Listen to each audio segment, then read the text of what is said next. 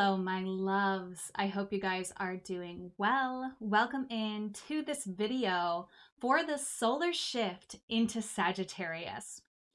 So, first things first, if you are new, hi, welcome in. It is wonderful to have you here. What we're going to be doing is talking a little bit about astrology, and then we are going to be using our own astrology, learning about it, and then tapping into the spiritual tools of the oracle cards to get guidance on how to best utilize our personal astrology during this season.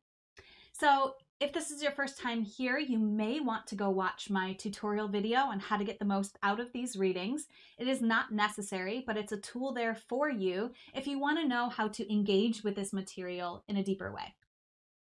For those who are not new, Hello, welcome back. It is so wonderful to have you guys here. Thank you so much for tuning in. It's a pleasure for me to offer this support in this way. It brings me so much joy, and I hope you guys all know how much I truly love you, care for you, and am excited for your journeys. If you want to support me, there's many ways you can do that. Just engage with this material. Share it with people you think it will align with. You can also comment on it and let me know what is resonating for you, what questions you have. You can also donate if you feel inspired at paypal.me slash devoted vulnerable. Link is in the description. And you can go to my website, devotedandvulnerable.com slash services. Link is in the description if you want to learn more about the services that I offer. I offer card readings, I offer guided meditations, I offer a bunch of different other things. So go there and check it out if you feel called. No pressure. With all that being said, let's jump into Sagittarius season. I'm so excited to bring this energy to you guys. Sagittarius is my favorite sign. I am totally biased. I am a Sagittarian sun. I'm a Sagitt- I'm a Mercury Sagittarius, I'm a Saturn Sagittarius, and I'm a Uranus Sagittarius. So I am quite Sagittarian in my astrological makeup. Don't worry if that didn't make sense to you. Basically, I have a lot of Sag energy. So let's talk about what a solar season is. A solar season is when the sun, the spotlight of our solar system, is in a particular sign. The solar season of Sagittarius will start on November 22nd when the sun moves into the sign of Sagittarius, and it will last until December 21st, until the solstice, when the sun will then move into the sign of Capricorn. So during this solar month, and I will refer to this as the month as we go through these readings. So please understand when I say this month, I do mean solar month, November 22nd to December 21st. We're going to be focusing on the Sagittarian energy, the Sagittarian archetype. So, your readings are going to be based on where Sagittarius shows up for you in your chart. Essentially, what planets, the sun, the moon, and or your rising sign exist in the sign of Sagittarius. Now, if you do not know what planets and aspects you have in the sign of Sagittarius, do not worry. This is part of what we do here in these readings. We learn about our astrology to get caught up with your own astrology, to get access to your own chart, to know how to read it and find out what planets are in this sign. Watch my tutorial video. I have this tutorial video created for how to find your birth chart information on astro.com a link is popping up here and it is also in the description if you want to go and enter in your birth data to that site. And you do need to know your birth time in order to access this information. So go ahead and watch my how to find how to find your birth time tutorial to get caught up on how to find your birth time so that you have something to work with with the chart generator. So we're going to be spotlighting the sign of Sagittarius by finding out what planet, the sun, the moon, and or the rising sign is in Sagittarius. You will watch the readings and the explanations for every single planet that you have in Sagittarius. So for example, I mentioned that my sun's in Sagittarius, so is my Mercury, so is my Saturn, and so is my Uranus. So technically, I have four readings this month because I have four planets in the sign of Sagittarius. I know that might be a lot of information for you, but this is when the sun, the spotlight of our galaxy, is really highlighting these elements and aspects of your life. So it's really fun to dive into how this is showing up in your life, how this archetype may be expressing itself through you, through the planets. I'll describe in each video what the planet in the sign of Sagittarius really means before I dive into the reading and the advice. If you do not have your sun, the moon, your rising sign, or any of the planets in the sign of Sagittarius, there's a video for you called Background Sagittarius. I'll explain in that video what that means, but you can watch that video if you don't have any of those aspects. So, a little bit more about Sagittarius. You want to look at your Sagittarian suns for this entire month as well. Watch how they shine.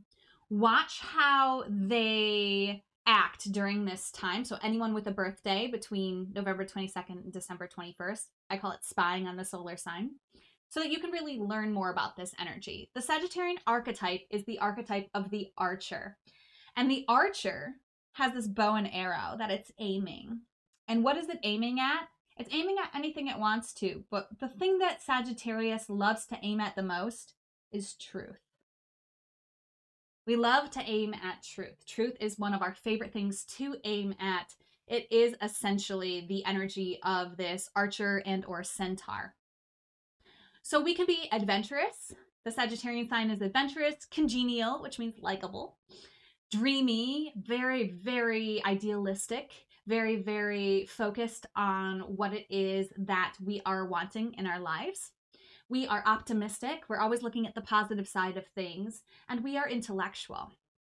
So I say we because, yes, I am in the Sagittarian archetype, but this is going to show up somewhere in your life as well. So it refers to you as well, no matter where it shows up in your chart. So the modality of the Sagittarius, meaning the way that this energy expresses, is through the modality of what's called mutable. You see the little arch with the dot underneath it up there. And that's the symbol for mutable. Mutable signs are always the signs that happen during a change in seasons. So in the northern hemisphere, Sagittarius happens between the change from fall to winter. It's not quite winter yet, and fall's kind of wrapping down, winding down. And so the energy of the Sagittarius is very changeable, mutable, very adaptable. It's constantly shifting. The element of the Sagittarius is fire. It's represented here by the triangle. The triangle is the flame going up towards the sky. And so the element of fire represents the spiritual world, the spiritual realm. So when we put those two together, we have this changing spirituality. That is a lot of the essence of the Sagittarian archetype. Not only are we focused on truth, you have to be a seeker of knowledge in order to gain this truth. Through adventure and experience, we learn in our lives. And so it's this ever changing spiritual nature of the Sagittarian archetype that we're going to be exploring and spotlighting for this entire solar month. I created a little explanation page here for you guys to show you a few different elements of the Sagittarian archetype. So you see here the symbol represented by the arrow. Next to it, we have, of course, the archetype, the archer. The planet that rules Sagittarius is the planet of Jupiter. Jupiter is all about expansion, it's all about luck, it's all about making things big and bright and energy. So the Jupiter energy is this amazing hugeness in our galaxy in the story of the zodiac. And so it rules the Sagittarian sign because they're so very similar in their energies. The key word for Sagittarius is idealize. I would also say that the key word is truth. You can see here the constellation of Sagittarius. And again, we have the element of fire represented by the triangle, the modality of mutable, that changeable energy represented by the half circle and the dot, and the house of Sagittarius. So each zodiac sign represents or rules a house. So they go in the order of the zodiac story. So Aries is the first sign in the zodiac story, so it represents the first house. Sagittarius is the ninth sign in the zodiac story, so it rules and represents the ninth house. You can think of the planet as the what of your zodiac story, the sign as the how, how that what expresses, and the house as the where. So the where of the ninth house is very Sagittarian in energy. It is all about learning, travel, adventure, spirituality. It can deal with mental health. It can deal with higher learning. That is where the energy of the ninth house represents and shows up in our lives. Now, more about the houses will come through in my moon readings. The new moon in Sagittarius happens a day after this solar shift. So, after you watch these videos, you definitely are going to want to watch the new moon in Sagittarius video where we are going to be focusing on the house energies where this new moon is showing up for us in our lives and the advice that's coming through for the lunar phase of Sagittarius, which is going to start one day after the solar phase. All right. So, for this reading, we are going to be consulting the Isis Oracle by Alana Fairchild. And if readings aren't your thing, please feel free just to watch the explanation of your energy and let yourself play with how that expresses throughout your solar month. But we can also use the cards to get more insight on how to really capitalize on this energy. The Isis Oracle wanted us to focus on freedom this solar phase. So, freedom is a huge theme of the Sagittarian archetype. I haven't really talked about it yet, but it deals with this expansion. In order to be free, you have to be able to expand. In order to expand, you have to be able to be free. If you're confined, you're not able to expand and you're not free. So, we're going to focus on how to get ourselves to open up to a more free way of living. That is what the Isis Oracle really wants to bring to us for this solar season of Sagittarius.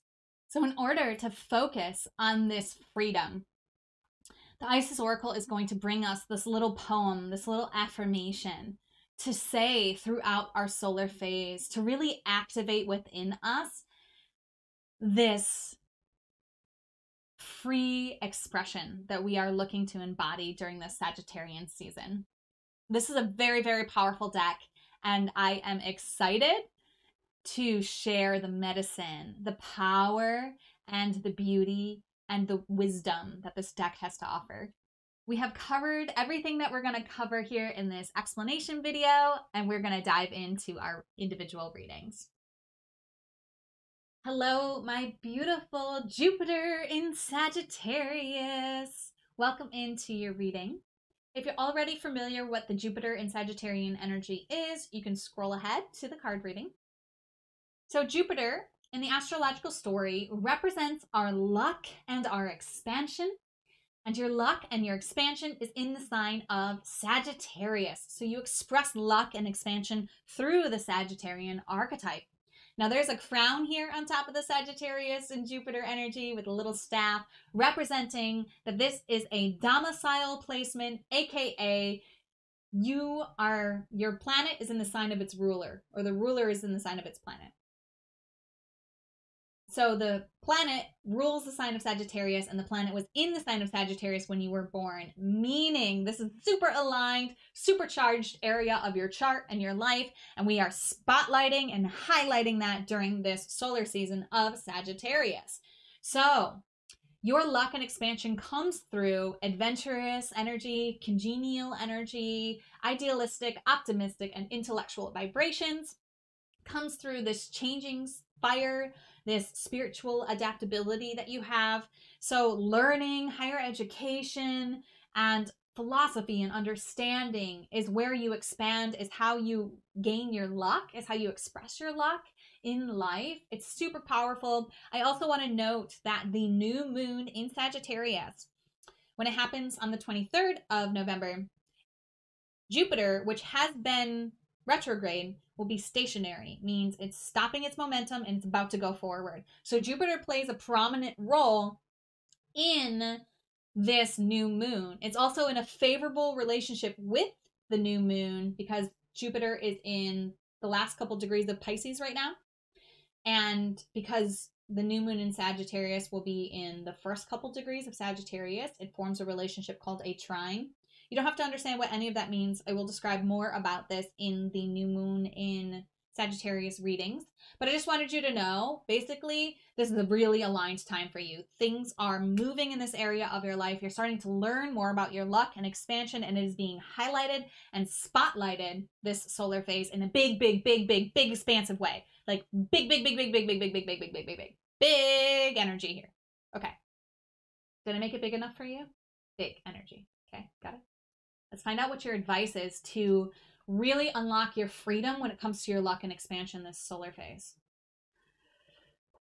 If you haven't already, taken a few deep breaths, called in your spiritual support team, and opened your heart to receive the guidance that's most aligned for you, I invite you to do that at this time. All right, my beautiful Jupiter in Sagittarians, let's find out what card we have here for you. Nope.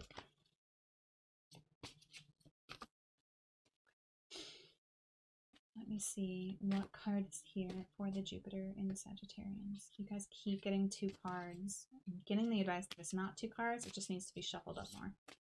Okay. There she is. Okay.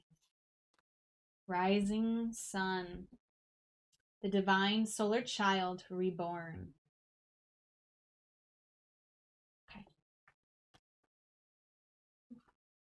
Opened it almost right to it. A dark phase and struggle is over. A new phase is upon you of hope, glory, light, and triumph. It is won through boldness and persistence. Even when you felt like giving up, you chose to stay strong and to surrender to the divine and continue with the path.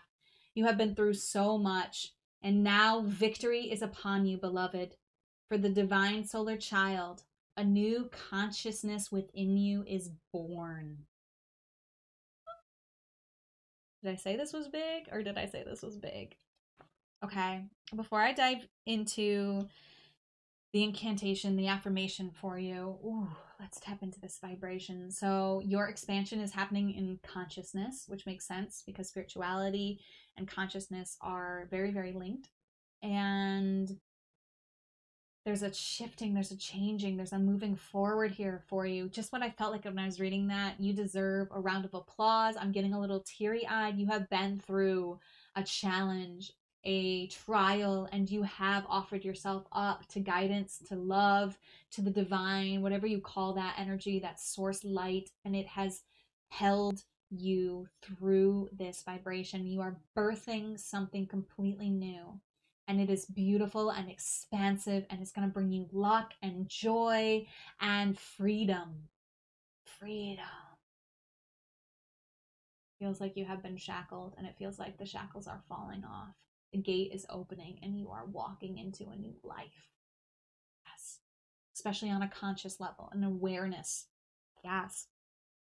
Here's your affirmation. I recommend writing it down. I recommend reading it in the morning and at night, but you do you. Uh, if you put captions on on YouTube, it'll help you to write this down as I read it. And I'll try to be choppy. So every few words, just pause, write it down, and then press play again. Rising sun. I am your solar child. I bask in your love, free and wild. I am filled with your hope endless and free. Your light and love fills all parts of me. Darkness cast away. Joy is now born. With the sweetness of this spiritual dawn. Spiritual dawn. Sagittarius is a spiritual sign. Jupiter is the ruler of Sagittarius. You guys are like the people I'm going to be watching this solar phase. Wow. Yes. So much love, so much support for you. I really felt as I was reading that that this is something you might want to say to the sun like opening your windows, sunrise, say this to the sunrise, say this to the sunset, really work with the sun energy and recognize that you are in essence a child of that sun the sun being in the sign of sagittarius right now the solar phase so much energy around the sun around this sagittarian spirituality. Yes yes yes. Woo wee please reach out to me. Let me know how this is resonating with you. Let me know what this is opening up and invoking and like lighting up within you and inspiring within you. Let me know if there's anything I can do to support you during this time of beautiful expansion, of new joy being born, of releasing the dark and moving into the light and the freedom that is yours to claim and walk into now. Yes, yes, and yes. I love you so much, my beautiful Jupiter in Sagittarians. Thank you so much for being here. And as always, namaste. The universal light within me salutes and honors the universal light within you. Namaste.